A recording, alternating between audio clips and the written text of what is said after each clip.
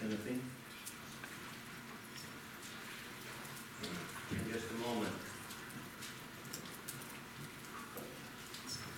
The Vacation Bible School theme is Breaker Rock Beach. I believe that's what the shirt says. Breaker Rock Beach. The Breaker Rock part is just an illustration. This part here, which because of my jacket, you can't see it very well, says God's truth never changes. Jesus told a story one time about a wise man and a foolish man. You remember that story, don't you? Jesus said that there's a difference between wise people and foolish people. This is the way he said it. He said, Everyone who hears these words of mine and does them will be like a wise man who built his house on the rock.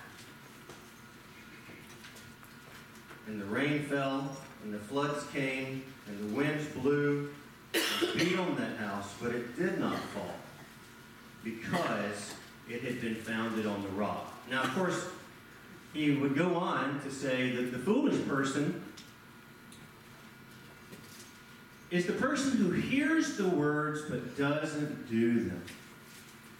And I think there's a strong correlation there between believing and doing. In other words, the person who believes the word is the person who will do it.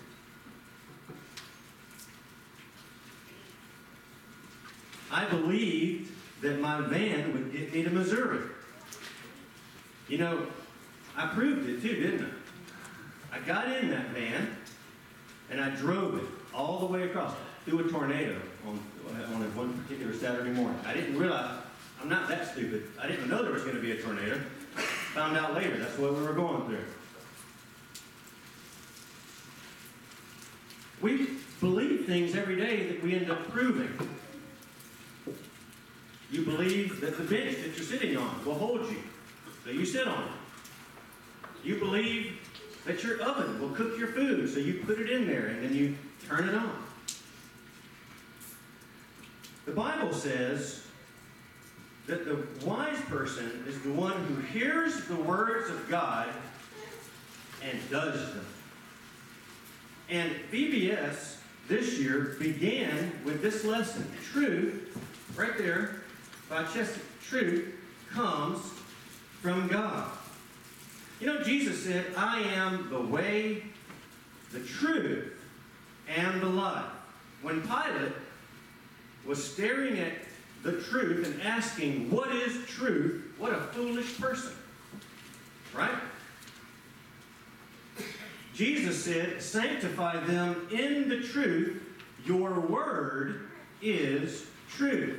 So not only is Jesus the truth, but the word is the truth. And that tells us that there's a very special relationship between the Word of God that you hold in your lap or in your pocket when you go home and the Lord Jesus Christ Himself. This Word is the revelation, the revealing of Jesus Christ. If you want to know more about Jesus, read the Bible. And I'm not talking just about the four Gospels of Matthew, Mark, Luke, and John. Obviously, you can read about the words that he said while he was on the earth, the things that he did, the things that were done to him when you read those four books. But did you know that when you read the book of Genesis, you're also reading about Jesus Christ? When you read the laws of Moses, you're still reading about Jesus Christ. This is what drives me crazy when people say, Oh, Jesus never said that we couldn't do this. And I'm saying, Well, does it say it in the Old Testament? Well, yeah. Well, then Jesus said it. Because Jesus is the truth and the Word is the truth. So there's this special connection. But we live in a culture that doesn't believe that anymore. We live in a culture that has fallen for the lie, for the, the psyop that began all the way back in the Garden of Eden. As God said. Remember those famous words that the serpent said to Eve in the Garden of Eden? Has God said? Did he really say this? And boy, we see it all around us, don't we? Has God really said that there are only two genders? Has God really said that marriage should be for a man and a woman? Has God really said that marriage ought to be for life and you shouldn't just chuck it when you get tired of the other person? Has God, and this is a big one in our society right now, has God really said that children are a blessing and to be sought after and love? Has God really said that working hard honors Him? Has God really said that honoring parents is expected of children? Has God really said that a godly man will take care of his family? These are things we take for granted. But in our culture, all of these values are being turned upside down and subverted. Why? Or how, I guess I should ask. Because they're asking, did God really say that? And some people will come back and say, well, and I saw this on a video the other day. Oh, the Bible has been rewritten and translated so many times we can't know what it really says. You ever heard that? Oh, the Bible has been translated from so many different languages and down throughout history, we can't know what it really says. And they say, it's like the old game telephone. You all remember that game, don't you? If I start over here with Ren and I whisper, the, what would I whisper? I don't know. I caught myself on the spot here. The, uh, huh? About In the beginning. The Cowboys are going to win this year. Man, that's a good one. That's bound to get twisted. The Cowboys are going to win the Super Bowl in 2024 25. And I start with Ren, and he goes to Amy, and he goes to Lisa, and he goes all the way around the room, and I give over to Bill, and it says, Your grandma has stinky feet, or something stupid. Because that's just how it goes. And people say, That's the way the Bible is. Don't you see? But that's not true, guys. I want, if you have a Bible with you, I want you to hold it up real quick. I want to make a point about it, if you have it with you. This Bible is written in English. I'm assuming, unless you happen to have one written in another language. But did you know that it was not translated? You can put it down now. I should make you hold it up the rest of the service. See, see if who would bring it down first. It was translated from original sources. Did you know that we have the Greek New Testament? The New Testament was not written in English, it wasn't written in Latin, it was written in Greek. And we have the Greek New Testament almost certainly as it was originally inspired by God. And that means when people translate it into English, it's not going through a thousand permutations. It is going through one Greek to English. And we have the same thing in the Old Testament. We have Old Testament manuscripts that go back thousands of years. And it hasn't been translated a million times. It's not like the game telephone. When you play telephone, you start with one written phrase. But if I did it like this, if I wrote down the, the phrase and I gave it to Ren, the Cowboys will win the Super Bowl this year. And then it gets over here to Bill that says your grandma has stinky feet. We could then compare it. What does it in fact say? The Cowboys won the Super Bowl. Will win. Will win. Future tense. I know, important. And that's important because our text says that God has left something written down. Look at verse 16. 2 Timothy 3 and 16. All scripture. Genesis, Exodus, Leviticus, Numbers, Deuteronomy, Joshua, Judges, Ruth, 1st and 2nd Samuel, 1st and 2nd Kings, 1st and 2nd Chronicles, Ezra, Nehemiah, Esther, Job, Psalms, Proverbs, Ecclesiastes, Song of Solomon, Isaiah, Jeremiah, Lamentations, Ezekiel, Daniel, Hosea, Joel, Amos, Obadiah, Jonah, Micah, Nahum, Habakkuk, Zephaniah, Haggai, Zechariah, Malachi. Then Matthew, all the way to Revelation, all Scripture. What does he say? Is breathed out, inspired by God. It is as if God spoke the words himself. You can trust the Bible. Has God said? Yes, He has. Not only has God said, not only do we have a reliable scripture that is translated from first generation sources, we have prophecies in the Old Testament that can only be true of Jesus Christ. I, I want to say this. The last word of the Old Testament. What was the last book of the Old Testament? Malachi. The last word of the Old Testament was written at least 400 years before Jesus was born. Our country isn't even 400 years old yet. Think about that. And yet, the Old Testament, which was compiled, some of it 2,000 years before Jesus was born, contains at least, conservatively, 300 prophecies about a coming Messiah that were fulfilled by Jesus Christ. 300 prophecies. And you might say, what kind of prophecies are you talking about, preacher? Well, prophecies like this the Messiah will be born in Bethlehem, Micah chapter 5. The Messiah will be born of a virgin, Isaiah chapter 7. The Messiah, this is very specific, will be betrayed for 30 pieces of silver, Zechariah chapter 11. Was Jesus betrayed for 30 pieces of silver? Yes, he was. The Messiah will have murder attempted against him, Jeremiah chapter 31. The Messiah will be preceded by a messenger who is an awful lot like Elijah. Who is that? John the Baptist. Jesus fulfilled between 300 and 500 unique Old Testament prophecies. I, I want to give you an illustration of how incredible this is. Whenever I send a piece of mail to my parents, I send it to 9094 County Road 167, Carthage, Missouri 64836.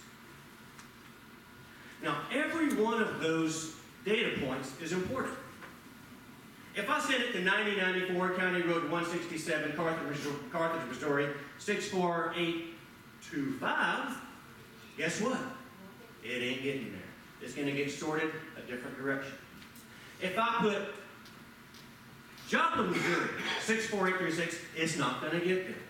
If I put everything right except for their name, it probably isn't going to get there.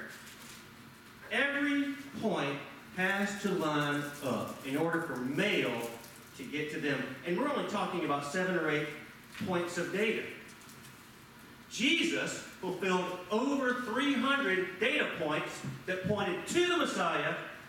So we know it has to be him.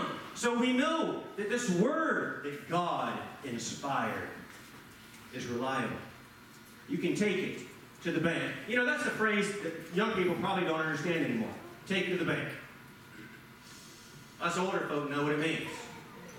We don't write checks anymore. Well, maybe some of us do. Young people don't write checks anymore.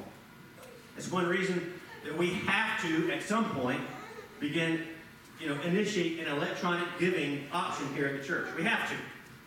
Because as young people join the church, they're not going to start writing checks, they? That's not going to just magically start because we want it to. But in the old days, young people, little history lesson. When you wrote a check, you could tell the person, you can take it to the bank. You know what that meant? I got the funds to cover it. Unfortunately, you go into a lot of stores, and it'll say, no checks accepted. Why? Because you can't take it to the bank because they don't have the money. It'll bounce like a rubber ball. The Word of God, though, has the funds. All these prophecies, all, all this history. I mean, think about what Psalm 22 says of Jesus. They will divide my garments among them. A thousand years before he was on the cross. They pierced my hands and feet. David wrote that a thousand years before Christ. This word that we have in our hands is reliable. It is a rock that stands against the crashing waves of our world that are asking over and over again Has God really said this? And Satan wants you to question what God said. But you, my friend, must know this word.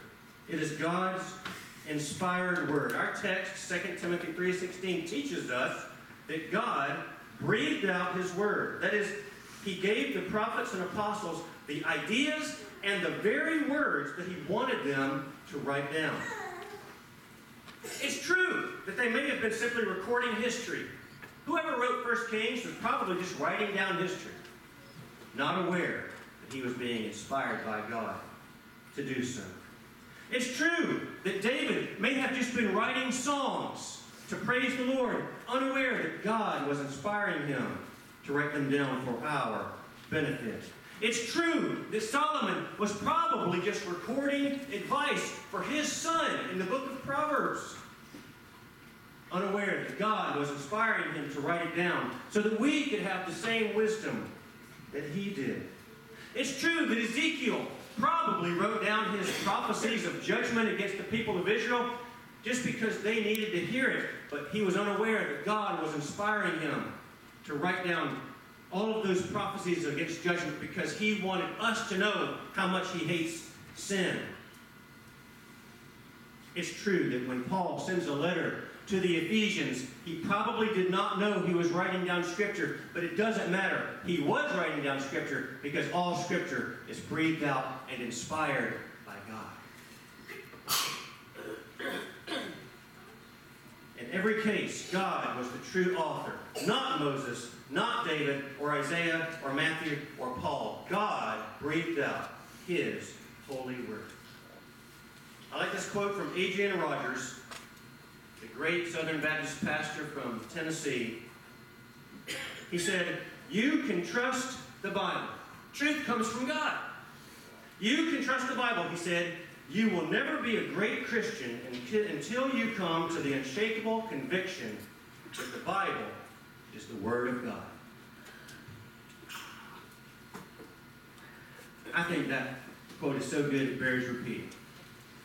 You will never be a great Christian. Here's a question for you Do you want to be a great Christian? I don't mean famous, I don't mean renowned, I don't mean looked up to. I mean, as you stand before God, do you want to be great in His sight?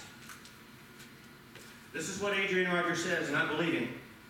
You will never be like that. You will never be a great Christian until you come to the unshakable conviction that the Bible is the very Word of God. This, this week, the children will be challenged to believe that their, their, their Bibles are reliable. Our children are being attacked on all sides. Satan is still asking the question Has God said? Husbands must love their wives. Has God said wives must submit to their husbands? Has God said children must obey their parents? Yes, the Bible still says all of these things, and the world is attacking them through Satan.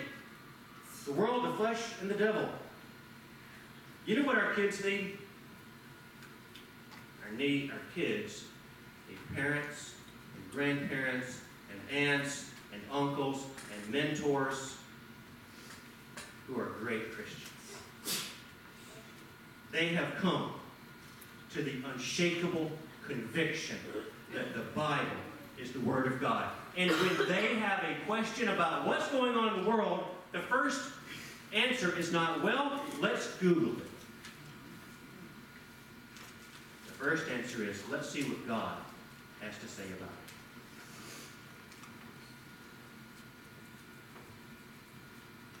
I have another question for you, and that's this. Have you believed the central message of the Bible? Have you come to this shakable, unshakable conviction that the Bible is the Word of God? You know, the central message of the Bible is that we need Jesus. That we are lost. I was talking with the kids last night, the ones that we have, Satan, uh, Satan, Salem and Malachi. Oh, I might want to edit that one out for a. Um, Salem and Malachi are in uh, Utah, his um, family, uh, extended family, sort of. And um, I was having a little devotion with the younger three, and we were talking about how you get saved, how you come to know Christ. The ABCs, they had forgotten it from last year's vacation Bible school, so we went over it again. The first one is A, admit to God that you're a sinner and repent. B, believe that Jesus is the Son of God. C, confess your faith in Jesus. That is the central message of the Bible. A.W. Tozer said, The Bible was not written for our information, but for our transformation. I love that. Somebody put it on a mug. Too often, we think, oh, that was a good sermon, or that was a good lesson, or I enjoyed that reading, and it fills up our minds, and then we put it away, and we don't put it into practice. But that's not what Jesus said a good Christian does. The, Jesus said the wise man is the one who hears the words and then does them.